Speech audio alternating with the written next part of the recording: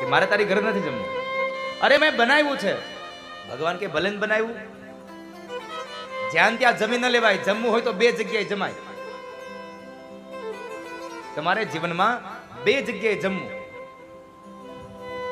જરૂર પડે તો બે જગ્યાએ જમાય.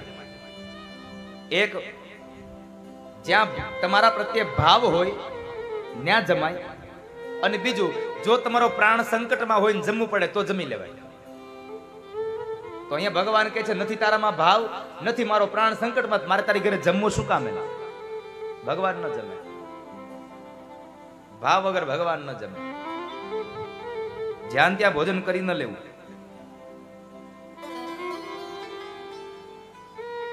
ભાવ વગરનું જમાડવામાં આવે તો તમને એમાં એમાં ઓડકાર અમીનો ન આવે. મને એક વાતનો જવાબ આપો. આજ આટલા બધા લોકો બેઠા છો એમાં ખાસ કરીને બેનો વધારે બેઠા છે. એટલે તમને એક પ્રશ્ન મારે પૂછવો છે કે સ્વાદ રસોઈમાં હોય કે સ્વાદ જીભમાં હોય? ચાલો, જવાબ આપો. જીભમાં સ્વાદ હોય આવું કહેવા વાળા જરા હાથ ઊંચો કરો. જેને ખબર છે જીભમાં સ્વાદ હોય. સ્વાદ બધો જીભમાંથી જ મળે ને? હા કહેવા વાળા હાથ ઊંચો કરો જરા. બરાબર. રસોઈમાં સ્વાદ છે, આવું કહેવા વાળા જરા હાથ ઊંચો કરો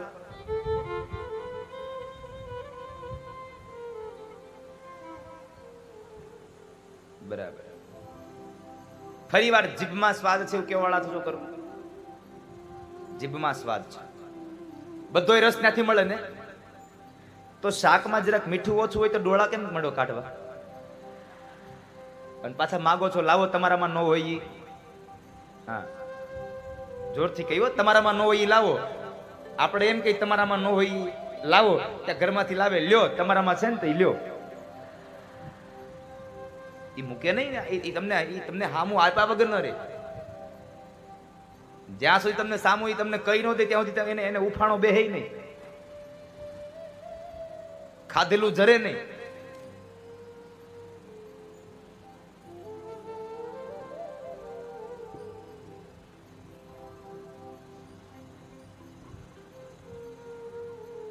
નથી સ્વાદ જીભમાં, નથી સ્વાદ રસોઈમાં સાહેબ. મહાપુરુષો એમ કહે છે, સ્વાદ છે તમારા ભાવની અંદર. તમે છત્રીસ ભાતના, બત્રીસ ભાતના પકવાન બનાવો, છપ્પન ભોગ બનાવો અને સામે બેહીને ડોળા કાઢીને કહો, ખાવની ખાવની. તો એ ભાવે? એમાં સ્વાદ આવે?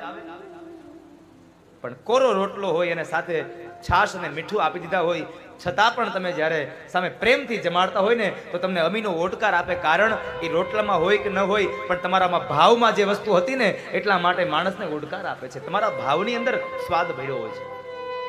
હામો બેહી ગયો હોય, મોઢું કઢીને ઉતરેલી જેવું કરીને. પછી ભાવે જમવાનું? ભગવાન તો ભાવનાઓનો ભીગો છે અને એણે કેટલી ખીર ખાધી હતી મીઠા